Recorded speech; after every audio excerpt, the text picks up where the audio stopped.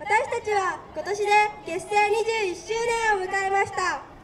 これまでの伝統を受け継いできた20年そして今年は足す1の年です。このヤータス秋田祭りと同じように私たちは新しい未来へ進んでいきます。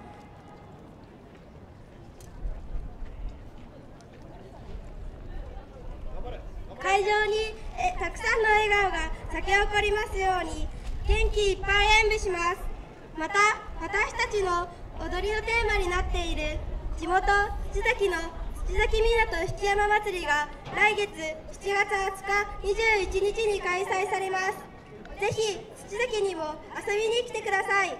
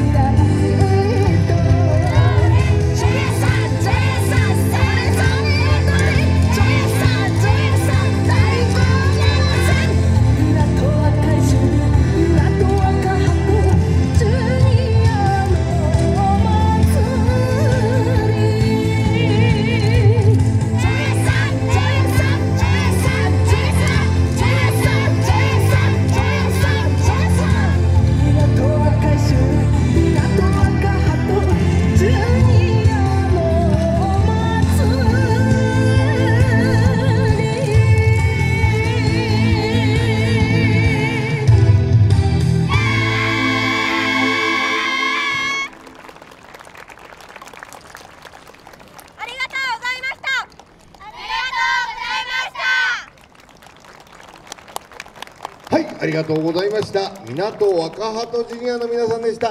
もう一度拍手お願いいたします。